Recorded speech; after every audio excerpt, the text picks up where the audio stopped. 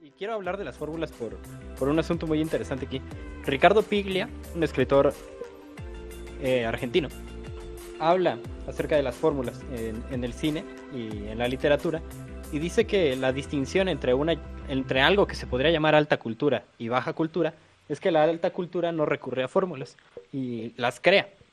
Y la baja cultura recurre a fórmulas, o sea, no tiene una creatividad en sí misma, sino que simplemente está replicando algo que, que ya sucedió previamente y que le gusta a la banda.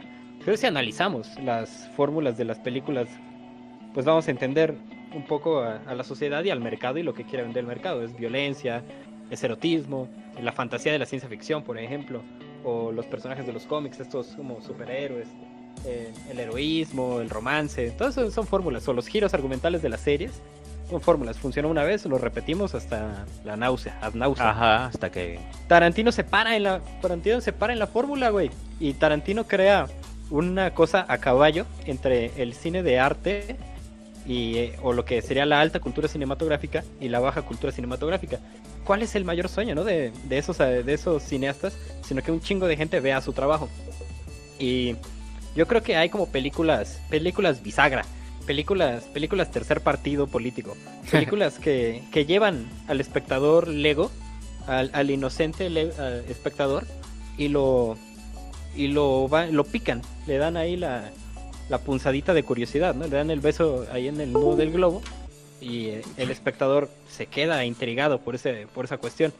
Estoy hablando como de los clásicos del cine de arte, de esos que venden ahí eh, en bolsita de plástico afuera de la estación de metro de confianza, que, que no, o sea, no son propiamente como las películas más densas de cine de arte. No, No. es Belatar, no es Godard, no es Gor- no es Gon Kar-wai. Estoy hablando de Kubrick, por ejemplo, de La Naranja Mecánica. Estoy hablando de, de Pulp Fiction. O sea, esas dos películas me parecen sumamente significativas porque a pesar de ser cine que crea fórmulas, es, es cine con una intención artística muy profunda, ¿no? Y que seguramente llevaron a más de uno a empezar a, entender que el cine puede ser más que solo entretenimiento y que hay arte dentro de- del cine.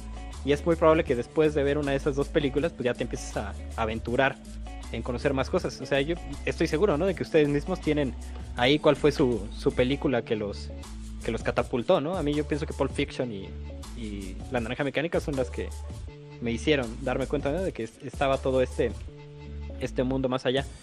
Eh, podemos hablar de eso si quieren, pero el asunto de Tarantino es que Tarantino se para en la fórmula.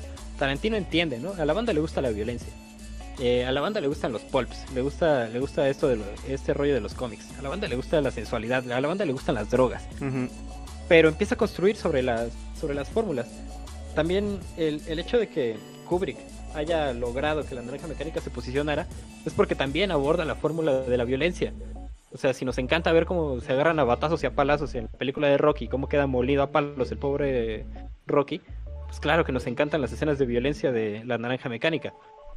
Eh, entonces estoy hablando de que es una condición para que una película de arte despegue, para que un cineasta de arte despegue, que ceda un poco y que se pare y que tome un poco de la fórmula y que lo revierta. Eh, eh, el... Yo creo que Tarantino, a ver, antes de empezar, Tarantino a mí me gusta muchísimo. Siempre que sale una película la veo porque obviamente me gusta. Las últimas películas para mí han sido regulares. Este tiene grandes películas Tarantino, no podemos dejar de la que son grandes películas, pero creo que Tarantino, o sea, Tarantino se le ha acusado muchas veces de estar sobrevalorado, sí. Pero me encanta porque toda la gente que dice, es que Tarantino está sobrevalorado. Sí, culero, pero ninguno había hecho lo que hizo él. O sea, o sea, sí, sí, sí, sí está sobrevalorado, sí, güey, pero eh, lo- como lo dice el David, pues se paró sobre la industria. O sea, Tarantino se separó sobre la industria y dijo, a ver, yo tengo el conocimiento de toda la puta industria porque he visto más pinche cine en este mundo que cualquier pendejo, porque eso es realmente, eso es real de Tarantino, o sea, Sí, es un Tarantino desde es un erudito, es un cabrón que ha visto... Habrá llevado de todo, o sea, no se detiene De todo. negártelo, ¿no? que, que ahí el Alex de la Iglesia, me encanta esa entrevista que le hacen al Alex de la Iglesia, que estaba comiendo con el, con Tarantino, y que pues Alex de la Iglesia, pues ya saben, o sea, si usted ha visto películas de Alex de la Iglesia, pues son, te las recomiendo, son divertidísimas, este, un humor negro muy cabrón, pero Alex de la Iglesia, pues es un güey campechano, chévere y así, ¿no? Entonces lo que decía Alex de la Iglesia es que pues, yo quería conocer al Tarantino, este, persona, ¿no? O sea, Tarantino como él, o sea, Y dice, pues, pero Tarantino no me dejaba hablar de cine. O sea, de todo me hablaba de cine. Entonces me preguntó en un momento, oye Alex, si tú ubicas unas películas españolas por ahí de los 60, es que alguna vez las vi, mira, se trata de esto y esto. Entonces, total que Alex de la Iglesia no pudo hablar de otra cosa con Tarantino que no fuera cine. Qué chingón.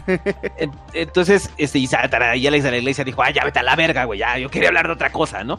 Bueno, el punto es que eh, Tarantino lo que hace es tomar todas las fórmulas cinematográficas integrarlas en sus películas y hacerlas un hit.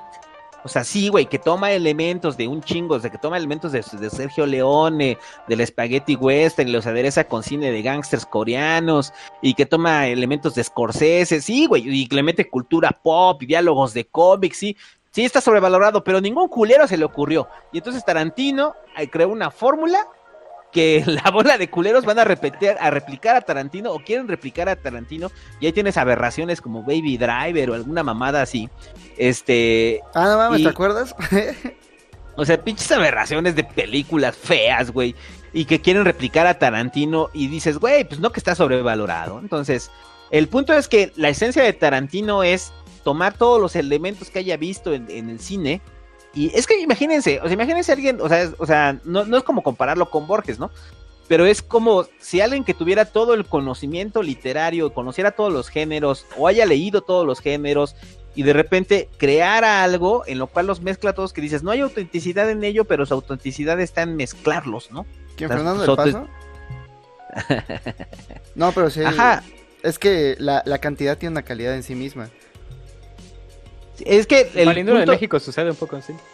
Pero no es tanto la cantidad, sino la, forma en la que los terminas integrando en un pues en un todo, ¿no? Además, para eh, quién hace cine, ¿no? Tarantino. Lo hace para él. O sea, eso sí es muy claro. Tarantino hace cine no para complacer a la audiencia, lo hace para complacer a complacerse a sí mismo, pues. O sea, es la película que quería ver. En algún momento vi un diálogo de una película donde se narraban con este el robo del banco y, y una película, creo que es con Conesa, y, y de repente Tarantino dijo, ay güey, yo quiero hacer eso, ese diálogo, ¿sabes qué estaría bien chido? Hacerlo película. Eh. Y agarra ese diálogo, güey, y hace perros de reserva, ¿no? Entonces, este, o sea, no me vengan a decir que Tarantino no tiene mérito, no mames, o sea, o sea, tiene todo el mérito del mundo y que está sobrevalorado, pues eso lo piensa usted. O sea, de que sea un pastiche de muchas cosas es otra cosa, es una cosa distinta. Pero lo que sí pocos, son muy pocos los que salen ilesos en, en la carrera de películas perfectas. O sea, Tarantino tiene Django que está como ya sobreconstruida sobre sí mismo. Sí, sí. Y puede que nos dé hueva a nosotros. a mí me caga Django, pero. Está, aburrido, no me gustó, ok. Pero tiene otras cosas chidas. O sea, ¿quién sale ileso, cabrón? Hay muchos cineastas a los que les pasa lo mismo. No mames, pero ¿qué me dices de Bastardo sin Gloria? Bastardo sin Gloria predijo a. Me caga Inglorious Bastards. Güey, Inglorious Bastards predijo a toda esta ola de neonazis gringos que tienen sus canales de YouTube y que te invitan al diálogo y a la y a la, y a la libertad de expresión. Desde, desde la libertad de expresión vamos a defender nuestra idea de un etnoestado blanco y vamos a matar a todos los que no estén fuera. Porque, puta, eso es un comentario súper inteligente acerca de cómo los que se enfrentan, los que se enfrentan a los nazis, desde el punto de vista de los nazis, pues son estos güeyes como sucios, groseros. Y Hans Landa, el, oficial de la SS, es el personaje más, más pulcro de toda la película. Es un, es un personaje completamente eh, encantador, ¿no? En, en, todas sus en todas sus expresiones y al final la manera en la que en la que el no es cierto, Hans Landa era el, el, no sé, al final la manera en la que el oficial eh, gringo le, le pone una, una cruz en la cabeza es para que nunca nos olvidemos que sí son muy educados y sí son muy, son muy carismáticos, pero al final son nazis. Es muy chingón esa película. Y además matan a Hitler. Es esta de huevos. Habrá que ver, ¿no? Porque aquí al, al de este santo no le gusta. Pero yo estoy de acuerdo con esa perspectiva, se me hace interesante esa, esa película. Justo estaba, ahorita que mencionaba lo de Alex de la Iglesia, que no podía hablar de otra cosa con Tarantino, estaba, estaba viendo una entrevista con, no sé, me gustó tanto Once Upon a Time en Hollywood que me puse a ver entrevistas para ver qué, qué tenían que, que decir los actores, sí. Había una entrevista de eh, Leonardo DiCaprio con Quentin Tarantino en la que estaban hablando al mismo tiempo acerca del proceso creativo y sin mirarlo a los ojos Leonardo DiCaprio le decía, sí, es que Quentin Tarantino me habló de acerca de tantos actores de televisión que no pudieron dar el brinco al, al, cine y acerca de... Y Quentin Tarantino como que no se daba cuenta, ah, sí, como este actor, ¿te acuerdas? Sí, este actor. Este... Pero creo que, creo que no le es que hay que ponerle atención, ¿no? Hay que, hay que, hay que ponerle atención a, a, esta película, todo, todo, lo que, todo lo que implica. El actor eh, sobre el cual se, se, se modelaron el personaje de, de, Leonardo DiCaprio era un actor de westerns para televisión en la época en la que el, el, actor que te pedía el entretenimiento era, era el hombre rudo, ¿no? Antes de las películas donde igual y ya necesitabas más como un Fred Astaire, un personaje como un poco más carismático.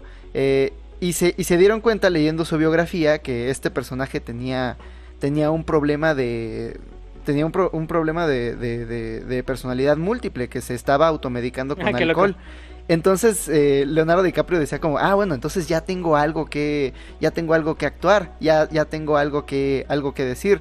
Y además es este comentario genial que se puede ver desde cualquier perspectiva, no solo desde la perspectiva de un autor, acerca de lo que significa dejar de, dejar de ser el, dejar de ser Never the thing, always the play. Dejar de ser el personaje para ser el proceso.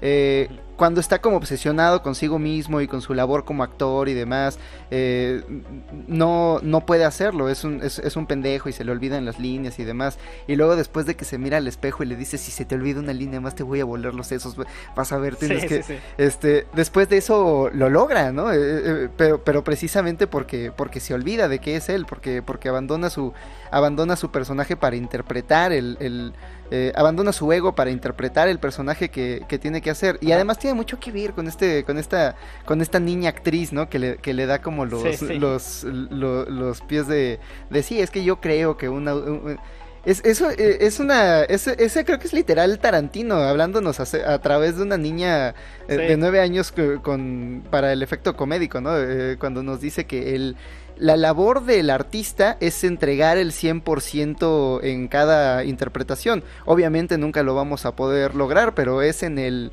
es en el intentarlo en el que se encuentra en el que se encuentra el propósito. No mames, qué chingón es esa película. y además, queman hippies con un lanzallamas. No, además, además de los hippies quemados, esa película, aparte de los comentarios acerca de la creación, tiene unos comentarios increíbles acerca del, del sistema del cine mismo. O sea, me parece que tiene mucho que ver. O sea, cae muy bien a cuenta esa película con este podcast. Y también trae un comentario, trae un comentario muy poético, o una especie de rescate histórico acerca de la, trágica muerte de, Polanski, su bueno, de la esposa de Polanski, sí, su, bebé. Lo rescata, o sea, los le restituye la historia y rescata a, la esposa de, de Polanski de las manos de, de Manson. La, los personajes, en la secta de Manson es increíble. Eh, la motivación por la que fueron a fueron a, asaltar la casa de, este cabrón me, parece sumamente lúcida. Eh, y lo tienen así como en un arranque de pacheques, pero güey, qué certeza. Vamos a, vamos a cobrarles toda la violencia que nos han enseñado.